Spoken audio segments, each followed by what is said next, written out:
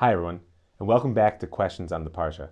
This week's Parsha is Parshat Vayigash, and my first question for you is a big one. Is a person able to be forgiven for the consequences of their misdeed if it turns out that those consequences were the fulfillment of God's plan? This question comes to us in the Parsha in the voice of Yosef. When Yosef's brothers are finally standing there in shock after Yosef has revealed to him that he indeed is the viceroy of Egypt that has been toying with them all along. He says to them in an amazing way, not only I forgive you, but he says, don't be afraid. Don't be angry. Because you think you sold me here? No. God sent me before you in order to bring life. This is astounding. I understand Yosef forgiving his brothers, but how can he possibly tell them that they haven't done anything wrong? If you're interested in looking a little bit more into this question, go look in the 24th chapter of the first book of Shmuel, Samuel, at the 13th line, what David says to Shaul as they're in the middle of one of their arguments. So that's our first question. Can a person really claim forgiveness for their deeds if they knew they were wrong when they were doing them, and yet they ended up being the fulfillment of God's plan? Okay, next question. If you look at the end of the 20, oh, sorry, the 45th chapter, at the 28th line, right, you'll see that when Yaakov hears that Joseph is alive, there's a beautiful description of what happens to him. It says, V'yechi ruach Yaakov avihen. His spirit was revived. I have a very simple question for you. How is it possible that Yaakov, who his whole life was a prophet, didn't know that Joseph was still alive? How could he not have asked God?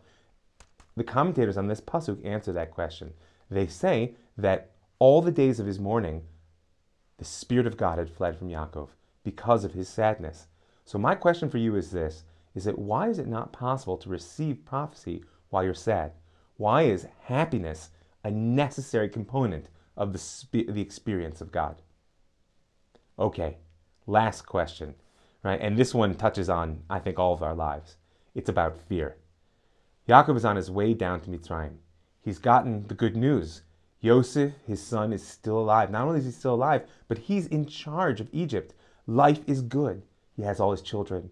There's a future. Their sustenance is assured. Nevertheless, he stops right at the border of Eretz Israel before he descends into Egypt and he prays to God. And God appears to him in the night and says to him, Al Tira, Yaakov, don't be afraid.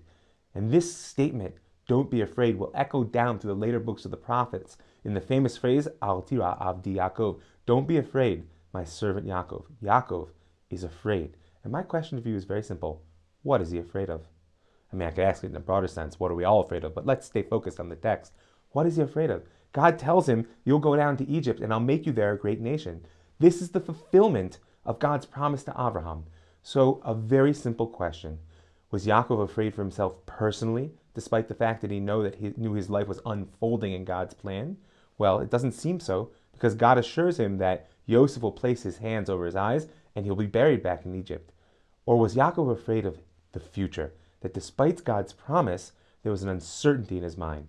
My simple question is that, is how is it that Yaakov was afraid, even though he lived intimately with the presence of God? So those are our three questions for this week. I look forward to seeing you next week.